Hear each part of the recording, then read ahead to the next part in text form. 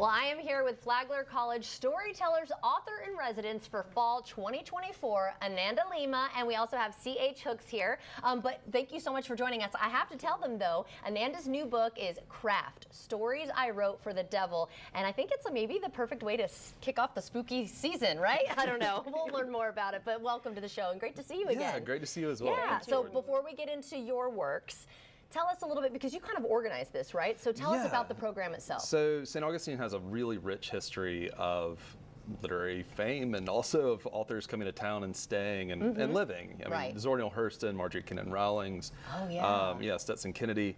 Uh, even Hemingway spent time in St. Augustine. So we wanted at Flagler College to kind of take that forward. Um, mm-hmm. And so we started the Storytellers Author in Residence program.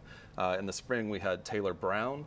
And now in the fall, we are privileged to have Ananda Lima. So ah. great to be here. Okay, so yeah, tell us about your book. Uh, yeah, so Craft Stories I Wrote for the Devil is a collection of short stories.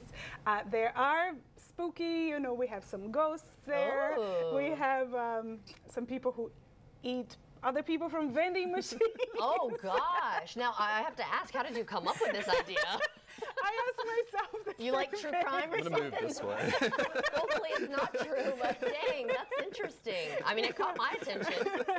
Okay, so themes right. that are a little bit yes, creepy. but you know, I feel like they are good for the person who is who likes horror or spooky, but also Me. for people who are a little bit scared because I am scared, so it doesn't go.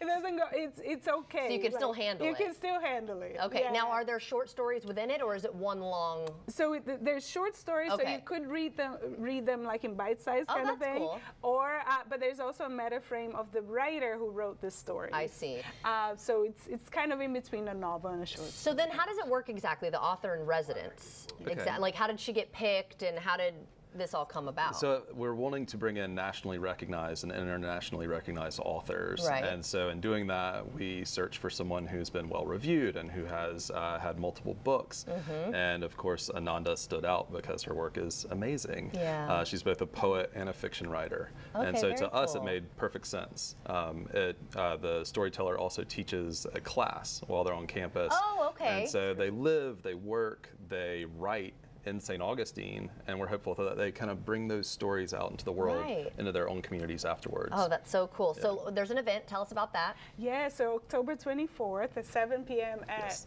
at the Markland House Markland on campus. Yeah. That's why we brought him. Yeah, exactly. I'm, I'm, here for logistics, but yeah, but yeah, yeah it's um, on campus at Flagler College, but okay. it's open to the public. So okay. we hope to have people from all over Northeast Florida and elsewhere. And what time will this be? That'll be at 7 p.m. 7 p.m. Yep. on the 24th. On the 24th. And are ticket? Do you have to buy tickets, no, or they just no, show up? It's not a ticketed thing. Okay. Um, it's open to the public, and yeah, we'll get to hear Ananda read yeah. and hopefully do a Q and A. Is so. there a website we can get more info? Um, well, you can go to Ananda's website. What's that? Okay. So anandalima.com. Okay. And I, I listed there in the events. Perfect. Sure. And then also flagler.edu, and Great. we have the Storytellers program on the site there. Awesome. Thank you both so much, and congratulations. And if you uh, think he looks familiar, he's the one who uh, created Pepper Potion. So go give him yes, a little, sea witch, a little love. Yeah, sea witch pepper potion. Love that hot sauce. Thanks so much, uh, guys. Thank you, Jordan.